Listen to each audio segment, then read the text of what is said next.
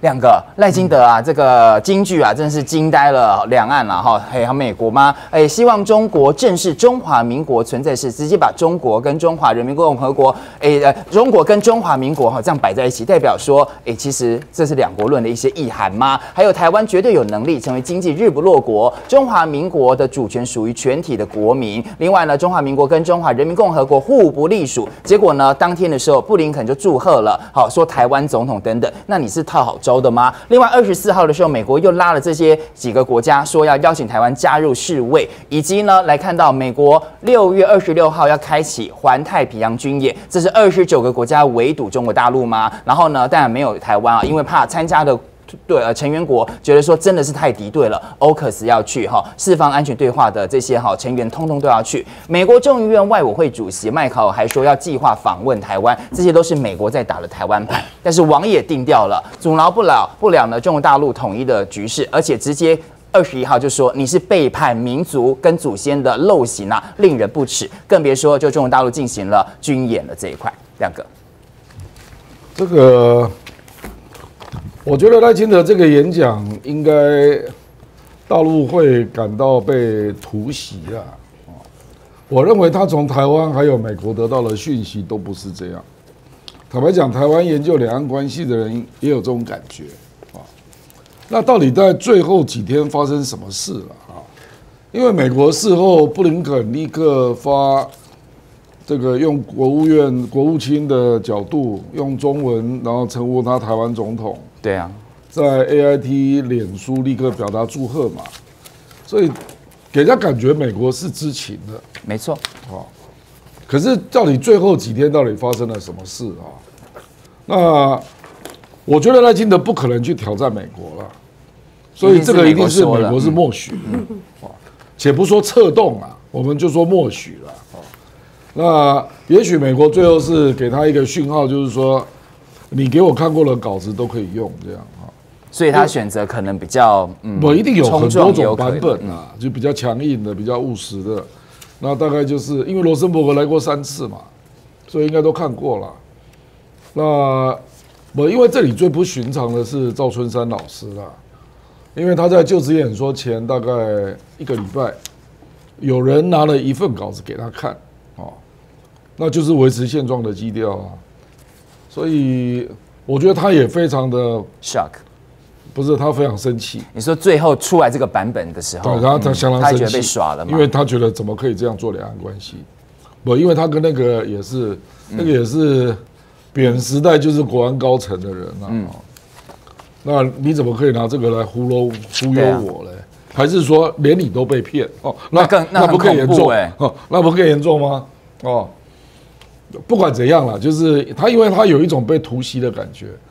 那我觉得一开始他就开始在认定到底美国的决策成分占多重是啊，所以后来你可以看到军演，嗯，就来了。军演基本上，我觉得针对美国的意味也很重啊是啊。事实上，王毅在隔天讲那个话，说祖先的叛徒、民族的叛徒，那个是属于两岸的定位啊。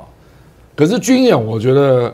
有一大块是针对美国，嗯，那最明显就是在四十个小时以内就完成部署，对，而且基本上那个句子的部署也蛮明显的了，嗯，就说我就是这么快，对，那把你挡在外面，嗯，你到时候要来帮你也帮不了。台湾反应还要三个小时，其实中国大陆早就到了，其实事实上他也没有办法进来了，因为如果被围起来，而且是武装的围了。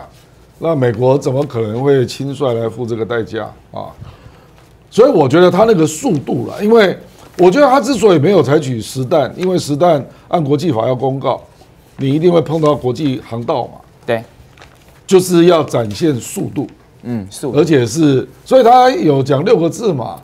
我认为他大概已经进到第二个字。然后前往第三个字中间了，他六个字就报尽猥琐即毁断。对对对，台独大本营，我们就讲进嘛，嗯，进就是说我要逼近就作战位置。哦，你可以看到它逼近二十四海里，没错，包括军舰啊、军机啊等等啊，然后还有外岛啊，就是在四十小时之内就完成整个逼近的部署。那第二就是围嘛，嗯，维最明显的是东东台湾那个维花莲。啊，就花莲啊，就是他让你的军舰根本来不及出逃，没有办法做第二阶段的作战。是。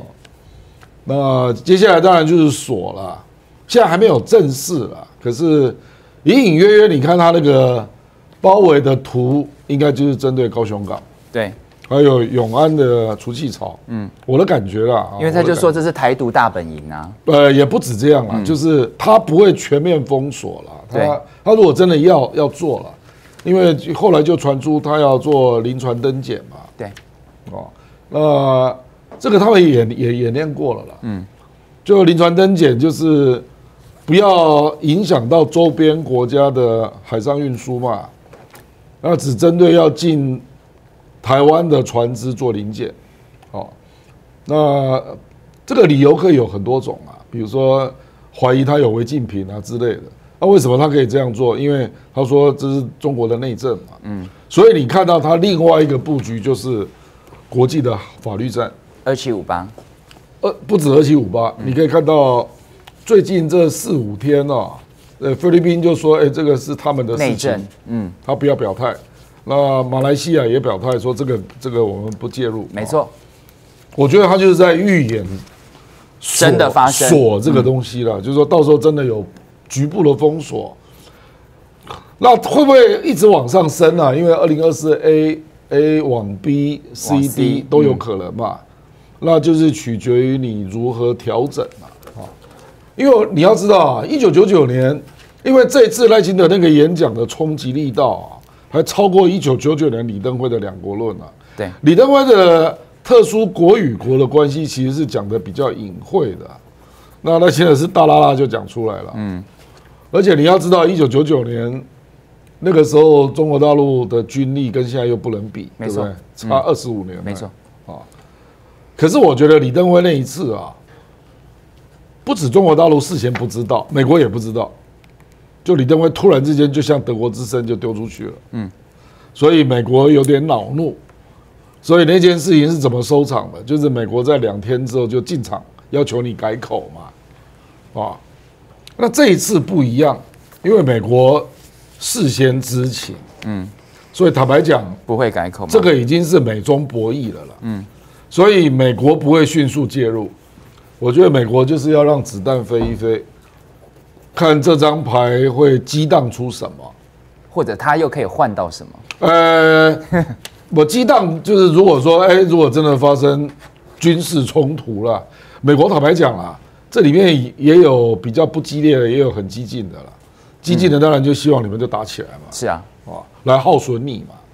那比较不激进的，就是想说，在那个过程当中，然后激荡出说，哎、你会不会希望我介入啊？嗯嗯，来那个施压施压民进党啊。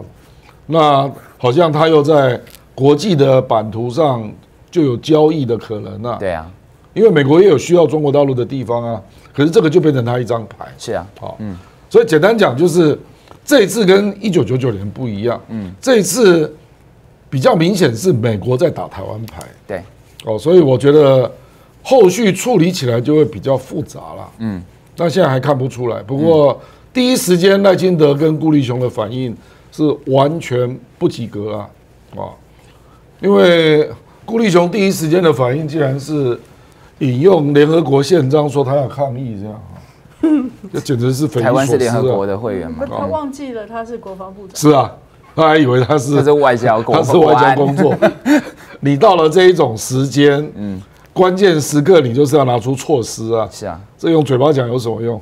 对不对？啊？对，那我不过我坦白讲，我觉得我真的就担心的是赖清德跟顾立雄知不知道他所处的处境啊？嗯，这个是比较麻烦的一点啊，因为他对外还是要故作轻松状啊，他说股股市照涨啊，老百姓没有感觉啊，其实你这样的回应就会引来更更激烈的一个反应啊啊，因为他最近有一最近才几天而已嘛啊，军演上才结束，嗯，几天而已嘛，对，然后他就是完全都是完全那一套了，完以前那一那一套了。哦，说什么哎呀要一起维持区域稳定啊，哦，说你这样做是恶化两岸关系啦，他对自己根本没有检讨嘛。实际上这个危机是谁引起的？这个我想大家都看得很清楚了。所以我觉得美国的媒体在第一天哦也故作轻松状啊，甚至那个路透社还说强硬中有善意啊，哦，这听不懂的话。对，是什么逻辑？可是我觉得那个美国的媒体到了第二天、第三天之后就改口了，是因为这种东西骗不了人啊，你不能硬硬掰啊，对不对？啊，嗯，就是火已经放了，那、可是现在怎么怎么救火，还没有看到方法。嗯，对。